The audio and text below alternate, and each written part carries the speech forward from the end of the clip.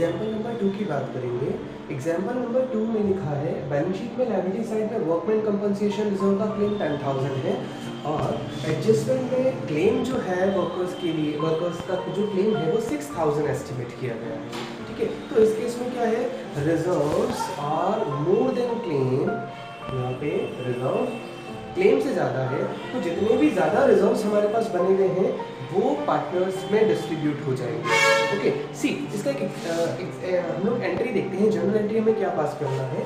Workman compensation reserve account debit ten thousand workman compensation reserve हमारे पास है ten thousand चला गया। टू क्लेम वो वर्कमैन कंपनसेशन रिज़र्व हमने सिक्स थाउज़ेंड रुपीज़ का क्लेम एडमिट किया है जो कि हमारे लिए क्लैरिटी है। और टू एज कैपिटल टू बीस कैपिटल ये टेन थाउज़ेंड में से सिक्स थाउज़ेंड लेस करने के बाद जो फोर थाउज़ेंड है, वो थ्री रेशो टू में डिवाइड कर दिया, जो कि ट्वेंटी फोर हंड्रेड और सिक्सटीन हंड्रेड आया, ये इनकी पार्टनर्स की कैपिटल अकाउंट में क्रेडिट कर दिया। क्रेडिट क्यों किया? बिकॉज़ ये इनका प्रॉफिट है। ठीक है?